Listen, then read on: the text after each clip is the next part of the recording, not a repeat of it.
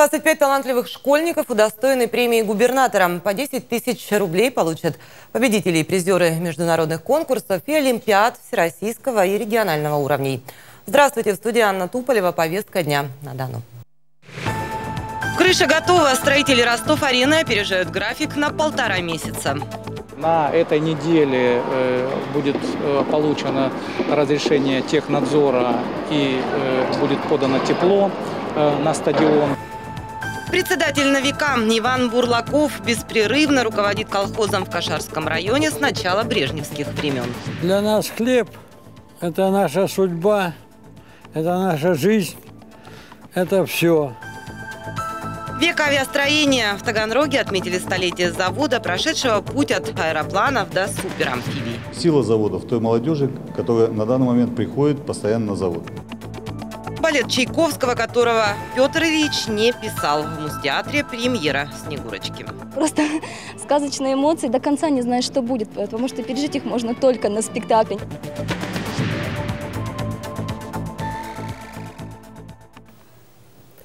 На кресло градоначальника Донской столицы осталось два претендента. Сегодня их определила конкурсная комиссия. Это министр транспорта области Виталий Кушнарев и директор по персоналу Росвертола, депутат Гордумы Геннадий Рибаконов. Кандидатуры будут предложены для голосования городской думе. Напомним, к основному этапу было допущено 7 претендентов. Срок двухлетнего контракта главы администрации истекает 7 ноября. Сергей Горбань документы на участие в конкурсе подавать не стал. На Ростов-арене закончили монтаж крыши. Сейчас строители демонтируют временные металлоконструкции, которые ее поддерживают. Ход строительства обсудили сегодня на совещании рабочей группы. Билетные кассы и КПП 85%. Благоустройство в районе 32%. Это такие укрупненные нормы все. Сухая статистика по строительству Ростов-арены на совещании – подтверждение того, что темпы работ сохраняются и строители опережают график на полтора месяца. На фасаде здания уже появляются наружные металлические панели. Идет благоустройство территории вокруг стадиона. Параллельно оформляются документы на разрешение ввода в эксплуатацию канализационного коллектора. По основным инженерным э, сетям э, вода э, по постоянной схеме уже подведена э, к стадиону. Э, на этой неделе э, будет э, получено разрешение технадзора и будет подано тепло на стадион. Сейчас строители разбирают временные опоры, которые поддерживали кровлю. На это уйдет около месяца. Крыша будет держаться на вантах, стальных тросах. Гигантские навесы осталось покрыть сверху мембраной. Она будет защищать от дождя и солнца.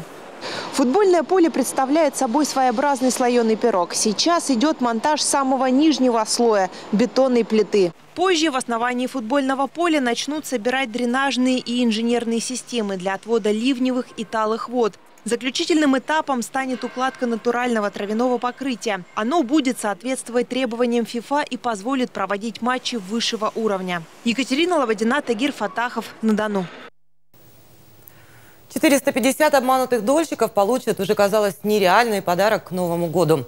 До конца декабря в Ростове обещают сдать 4 долгостроя. Один из них уже вывели из реестра проблемных объектов. С момента закладки первого кирпича на университетском прошло 14 лет. Дольщики уже не верили, что войдут в свои квартиры. Но несколько месяцев назад нашелся инвестор. И за его деньги дом наконец достроили. Остались отделочные работы и облагораживание территории. Так что можно планировать встречу Нового года в новом жилье. Вот через день, каждый день, каждый приходит, каждый свою квартиру, там же уже и ключи, и все входит, смотрит, мечтает, думает. Ну, хотелось бы, чтобы в ноябре мы сдали этот дом. Больше десяти лет ждут своего жилья и дольщики дома на Очаковской улице. Решили достраивать многоэтажку без инвестора. Но не без поддержки местных властей. Те помогают субсидиями и решением организационных вопросов. А основную сумму денег дольщики собрали самостоятельно. Дополнительно около 100 миллионов. Это где-то в районе 9 э, тысяч за квадратный метр. Признаки жизни есть пока только на одном этаже в доме по проспекту Ленина. Его сдали в эксплуатацию несколько недель назад и исключили из реестра проблемных объектов. Скоро заселятся первые жильцы. До конца года планируют завершить и строительство многоэтажки на Темирнике. А значит, в ближайшее время реестр уменьшится на 4 пункта. Остается разобраться с 21 недостроем. Мы э, э, основную массу завершим за 2-3 э, года, вот, но есть пару домов очень сложных, с низкой степенью готовности, и там еще не найден инвестор.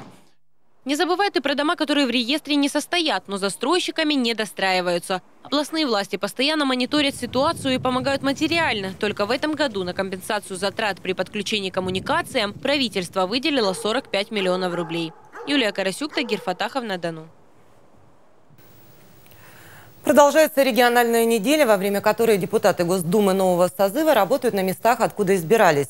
На встрече с депутатами регионального парламента они обсудили социальные вопросы, требующие законодательного урегулирования на федеральном уровне. Донские законодатели предложили выдавать бесплатный пайковой уголь шахтерам, проработавшим, проработавшим на негосударственных шахтах не менее 10 лет, их семьями, вдовам, а также инвалидам труда. Плюс к этому есть адресные темы развития конкретных городов и районов, строительства объектов транспортной, дорожной инфраструктуры. А, здесь тоже необходима помощь депутатов Государственной Думы. И я уверен, что наши коллеги в Государственной Думе эту помощь Ростовской области окажут. Есть проблемы с поддержкой детей войны, привлечением к административной ответственности нарушителей тишины, общественного порядка и правил благоустройства. Попытаемся выстроить вот ту вертикаль, которой, наверное, не хватает. Вот все от депутатов Государственной Думы, не только депутаты Государственной Думы, должны как-то вот решать посылы, которые туда идут. Вот должна жесткая, четкая вертикаль понимания до представительного органа каждого поселения. Возможно, новый механизм взаимодействия заработает уже зимой, и общественности представят совместные проекты депутатов различных уровней. Столетие авиастроения отметили в Таганроге. В 1916 году третий пилот-авиатор России Владимир Лебедев создал здесь крупный аэроплановый завод. Позже он стал авиазаводом имени Дмитрова, а в 2011 вошел в состав ТНТК имени Береева.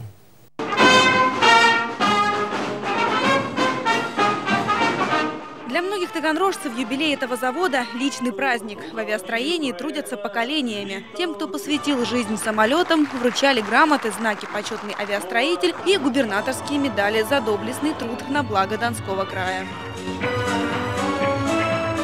На заводе трудится почти 8 тысяч человек. На заводе более 3,5 тысяч молодых людей моложе 30 лет. Поэтому сила завода в той молодежи, которая на данный момент приходит постоянно на завод.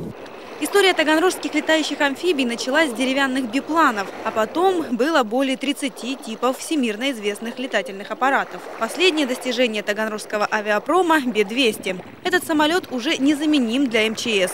Поливая водой, способен спасти от пожаров тысячи гектаров леса. Сейчас завод имени Бериева переживает не самые лучшие времена. И все-таки таганрожскому авиастроению прочат большие перспективы. Первый открыватель нашей амфибийной авиации. На сегодня он лидер мировой, не только российский. И мы надеемся, что с годами, сто лет это э, юбилей, который дает, наверное, э, точку отсчета, которая позволяет дальше, дальше, дальше, дальше развивать э, просторы и высоты, которые может достигать наш завод.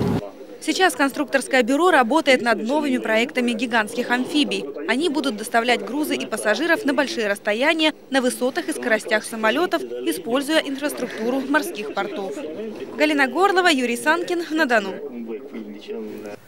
Ровно 50 лет назад назначили Ивана Бурлакова председателем колхоза «Октябрь» в Кашарском районе.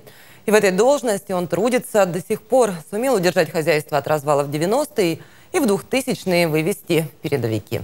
Октябрь всегда впереди. Знамена, вымпелы, награды – все по заслугам. Но и стружку партия снимала, что тоже стимулировало. С теплом вспоминают ветераны былые времена. Действовала тогда колхозная система орошения. Было централизованное снабжение удобрениями, топливом, техникой. Тысячи коров и свиней заполняли колхозные фермы. Все, что там построено, это, собственно, построено в этом хозяйстве под руководством Ивана Петровича.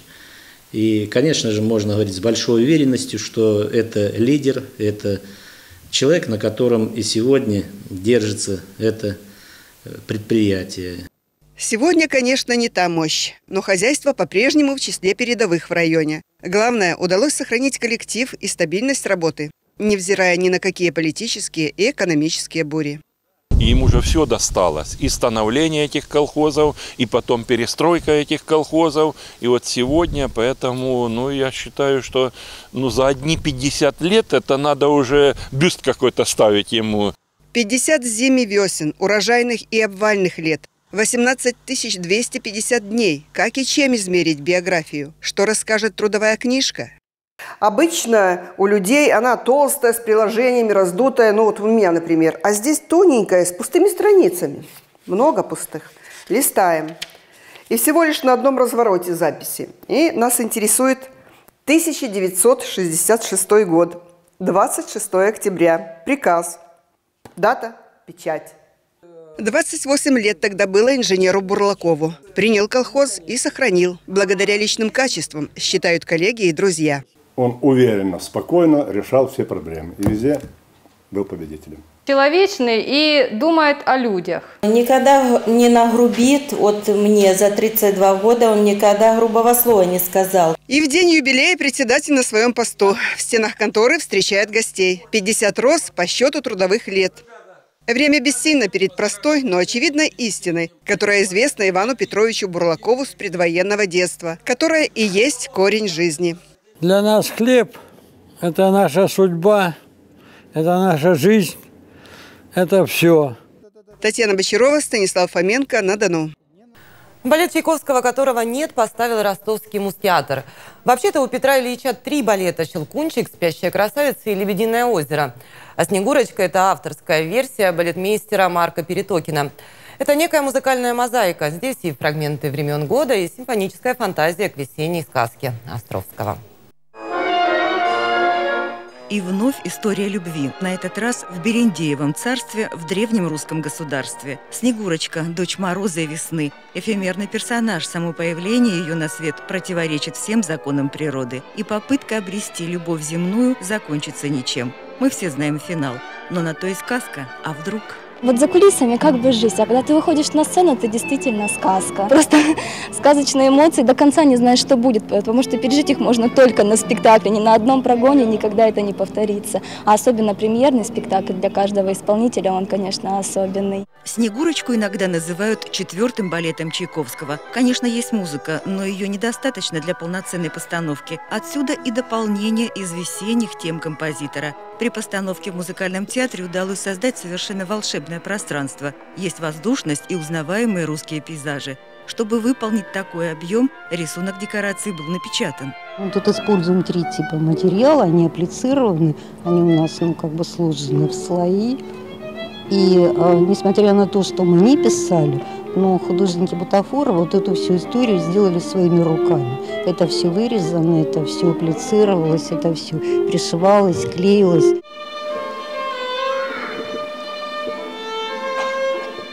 В ростовской версии сказки «Снегурочка» на первом плане любовная линия Леля и Купавы. И эта история должна оттенить драму Снегурочки и Мизгиря. Наверное, я отталкивался от каких-то природных явлений, наверное, скорее всего.